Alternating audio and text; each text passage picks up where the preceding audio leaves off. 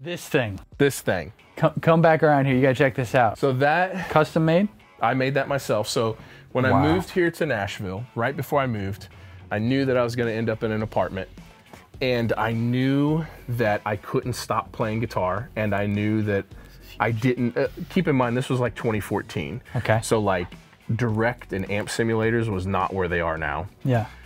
And so my thought was I have to build an ISO cab that fits through the door of a bedroom apartment that is the quietest thing anyone's ever heard. Inside this is it's a two cabinet design and basically it is by an enormous percentage the quietest ISO cab. You can't buy one any quieter, that's for sure. So it's Whoa. it's over 65 dB deadening.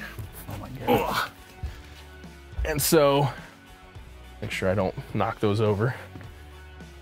Whoa. Okay, so it's suspended. Yeah, so this is completely suspended on rubber straps. John is loving this.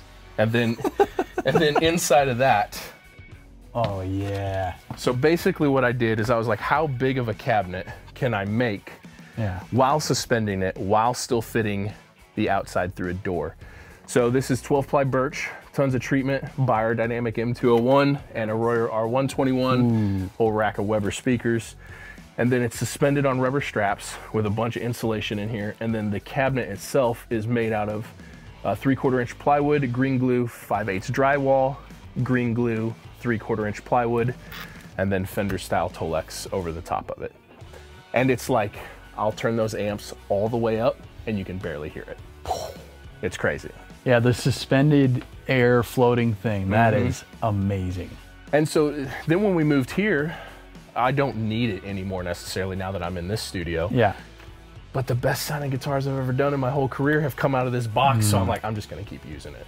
That's so awesome. How do you plug into it? There's like Uh, a there's little- cables right down on that side. There's a couple XLRs and a speaker cable, yeah. jacks that are all epoxied in so that way the least amount of sound escapes as possible.